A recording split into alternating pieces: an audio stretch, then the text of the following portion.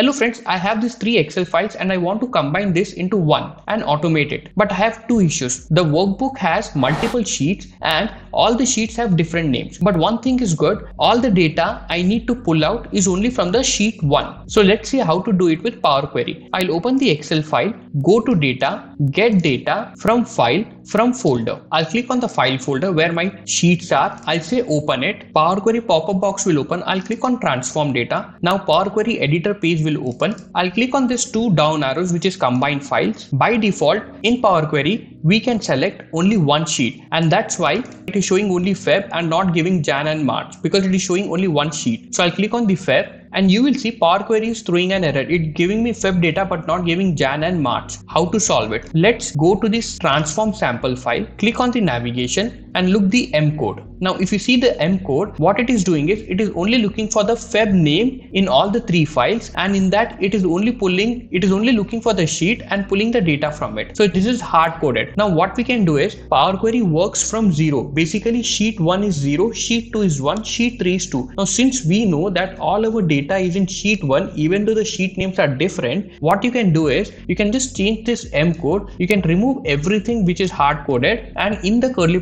brackets just put 0 what now Power Query will do is no matter if your sheet name is different or you have multiple sheets, it will only pull the data from the sheet one which it considered as zero. Now when I commit it, I don't get any error and when I go to the file, you will see I got Jan, Feb, March data. Now this is automated. When I go to my file and add May data into it, come to my Power Query and do a refresh, you will see May data is also added even though it had a different sheet name and multiple sheets. If you like this video, please do share and subscribe. Thank you so much.